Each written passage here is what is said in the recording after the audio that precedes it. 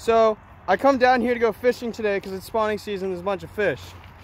First cast, my line, my reel breaks.